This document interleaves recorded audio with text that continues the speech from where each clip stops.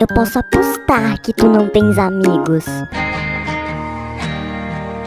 Ei, isso é. Então eu serei a primeira.